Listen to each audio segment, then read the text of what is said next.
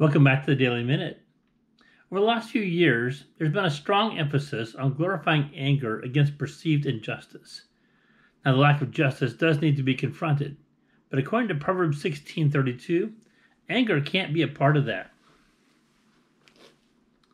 He who is slow to anger is better than the mighty, and he who rules the spirit than he who takes the city.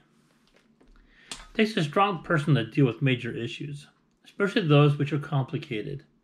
According to this verse, those who are easily angered don't have that strength. To lead others into success, a person must first be able to control their own character. We must not allow our emotions to control our life or our decisions.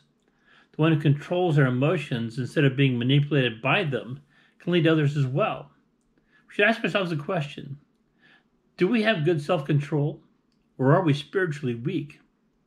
I want to thank you for spending time with me in God's Word today.